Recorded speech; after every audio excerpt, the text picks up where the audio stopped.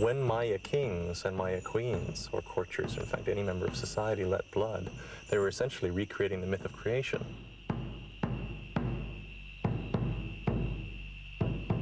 The Maya believed that humans were made out of corn and out of the blood of the gods. And so to give blood back was a way of showing thankfulness, of course, for creation.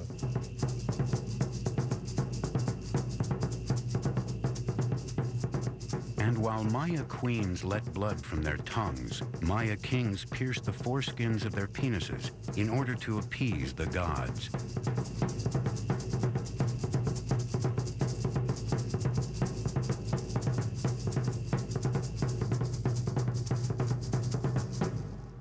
But by far the most precious offering they could give was human life.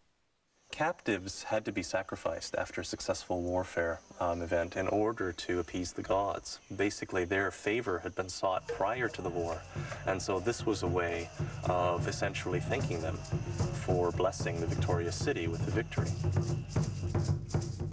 The Maya fought in a very ritualized way. Kings led their nobles and warriors into battle, sometimes timing the conflict to the appearance of the planet Venus, their symbol of war.